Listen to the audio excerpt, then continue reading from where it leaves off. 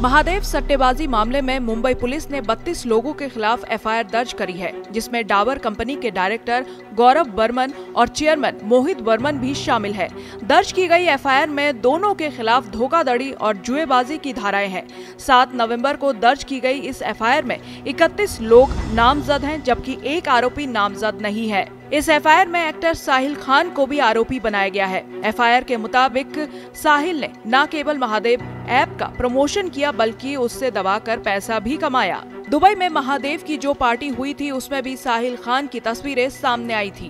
इस मामले की जाँच ईडी भी कर रही है और वो अब तक 450 करोड़ रुपए की संपत्ति और कैश की जब्ती कर चुकी है और इस मामले में अभी तक 14 लोग गिरफ़्तार किए गए हैं। ईडी के मुताबिक सौरभ, चंद्राकर और रवि उपल विदेश में बैठकर बैटिंग का रैकेट चला रहे हैं, जिसकी चपेट में ना जाने कितने लोगों के आने की संभावना जताई जा रही है।